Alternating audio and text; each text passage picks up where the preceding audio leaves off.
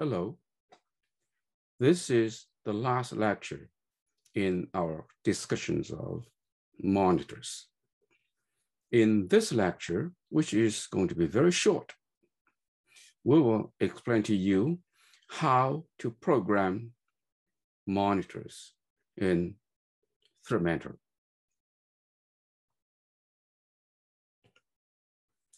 Now, first of all, let me remind you, ThreadMentor does not support empty, priority wait, and uh, broadcast or signal OR.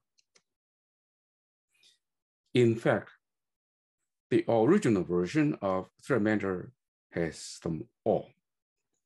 But to make sure you know all the basics, we disabled all of these three extensions in hope of that you are going to use signal and uh, wait properly. Furthermore, not all systems support empty priority wait in the broadcast.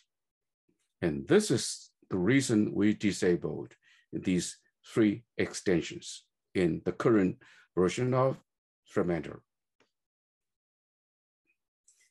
In ThreadMentor, a monitor is just a class. So here we defined a monitor called MyMon, uh, inherit every public components from the base class monitor. So this means ThreadMentor has a class monitor. For you to inherit all of these public components into your own class. Here, your own class is named as my MyMon. And uh, always remember, monitor, any monitor does not have any public variables. They can only have public procedures. So in the public part, we have a constructors and some other monitor procedures. All variables or some procedures that can only be used inside a monitor must be declared in the private part. So remember this, a monitor should not have any public variables. How do we write monitor procedure? It's the same as writing a class member function. So I have a class, MyMon defined on the previous slides. And uh, this is a monitor procedure. The first statement to be executed is must be a call to monitor begin. The last statement before you exit a monitor procedure must be monitor end. In some sense, if your call to monitor begin is successful, then you have the mutex or the mutual exclusion protection of the monitor.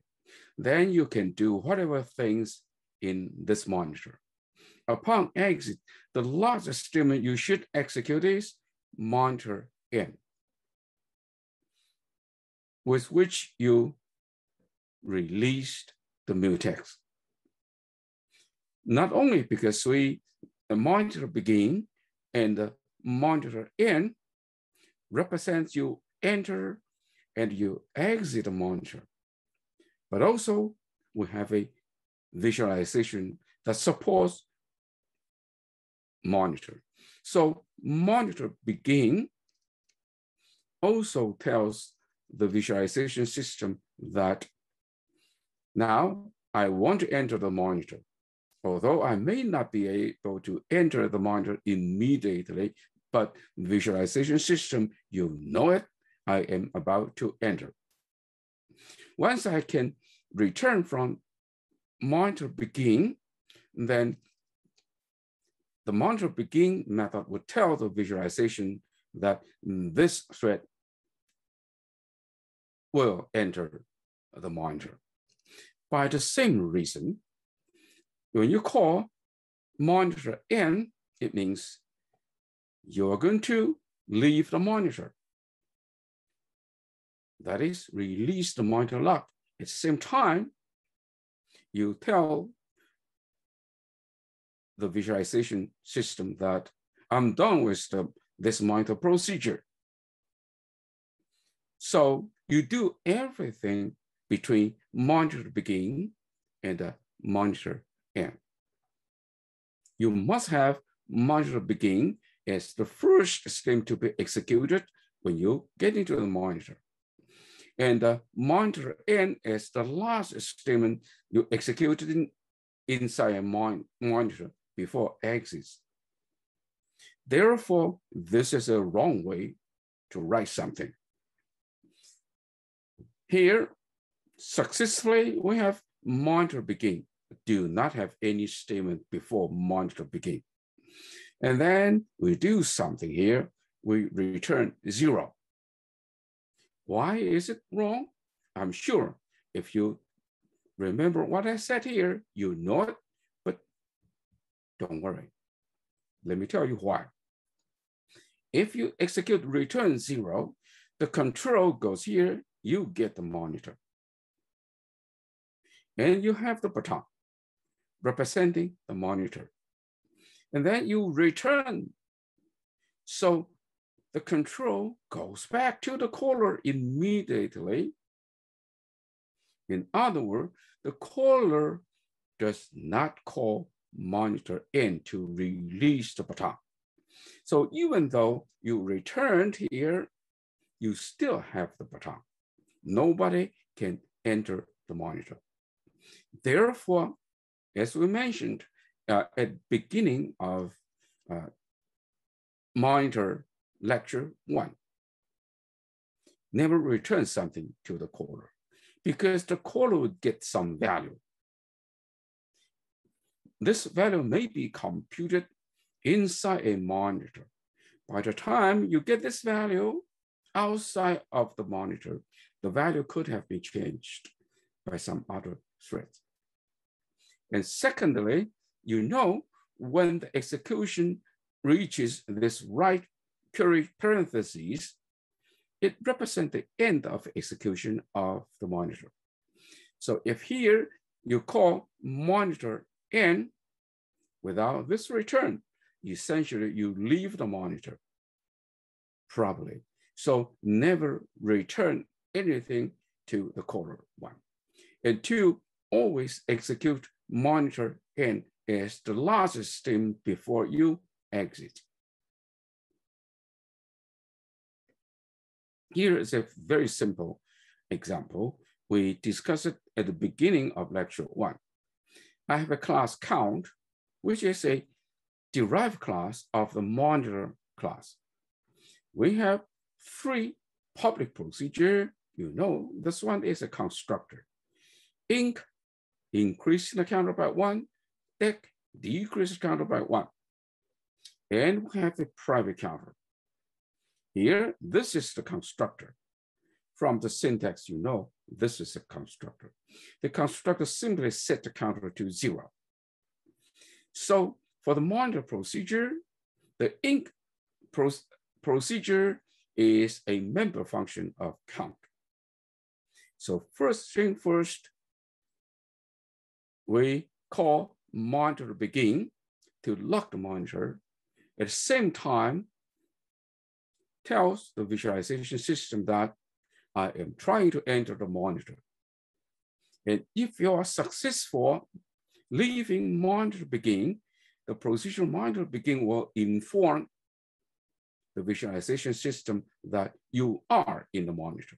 Then we add one to the counter and call monitor end, indicating I'm done with the, this monitor procedure inc. Now we return a value. As I mentioned to you, no matter where you return this value, it's a risky procedure, risky uh, process. If you do it here, you still have the baton representing the uh, mutual exclusion of the monitor. You are in big trouble. If you return it here, by the time the caller to inc receive the return value, the value has already been changed. For the same reason, don't return anything here. Process whatever you want to do inside the monitor rather than returning something to the outside because you, there's no guarantee that when the value is returned to the outside, the value inside the monitor and the value outside of the monitor would agree. So always keep this in mind. Condition variables. In ThreadMentor, there is a class called condition. So you simply declare the condition variable by using condition event. This is event is a condition variable. You can wait on this condition variable and the signal this condition variable. Of course, you could always use pointer by new a condition event. In that case, you change here to reference rather than dot. So let's write the uh, philosopher monitor. Remember, in lecture two, we discussed a monitor version of the Dijkstra original sem semaphore version of the dining philosopher's uh, problem. Dijkstra suggested that a philosopher can eat if and only if he is able to get both chopsticks. So here we follow it. We define a class mon as a derived class of the base class monitor. We have a get procedure for a philosopher to call in order to get both chopsticks, a put procedure for a philosopher to put down both chopsticks, and mon is the uh, constructor. We have five, we have an array of five elements. This array is a condition variable, and we have a state, remember, that is thinking, hungry, and uh, eating.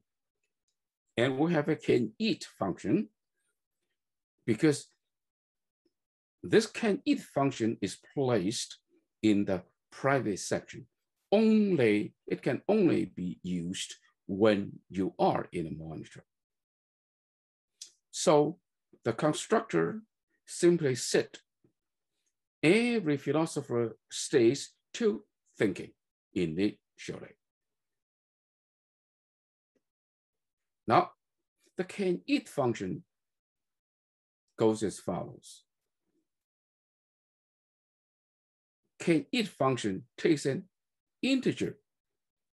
This integer is a number of a philosopher.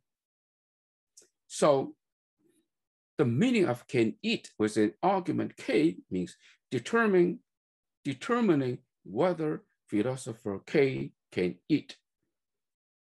Philosopher k can eat if and only if philosopher k is hungry and his left neighbor and his right neighbor are not eating.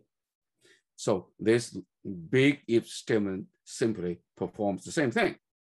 Philosopher K is hungry and his left neighbor is not eating, his right neighbor is not eating. In that case, philosopher K can eat. Therefore, we set the state of philosopher K to eating and signal philosopher K. So this is the can eat function. Now for the get function, it's pretty simple. Always remember monitor begin, monitor end. Without these two function calls, your monitor procedure is not only uh, incomplete, but incorrect because you do not have mutual exclusion. So philosopher K wants to get both chopsticks. So lock the monitor up. set himself to hungry and check to see whether philosopher K can eat. Philosopher K is itself. Can I eat? After returning from can eat function, check to see whether my state is not eating. If my state is not eating, it means I cannot eat. Therefore, I weigh down self K, the condition variable self. When I will be released later, I call monitor end to exit the monitor. Now, if you have noticed that, whether you have noticed that we use uppercase signal and uppercase wait here. Now, finally, I'm sure you can do the same for the put function. Finally, it's very interesting for you to test whether your monitor solution works for the Hoare type or the Mesa type. Fortunately, ThreadMentor supports both. Look at here. If you declare a monitor my monitor, it has a constructor. So here you give it a name.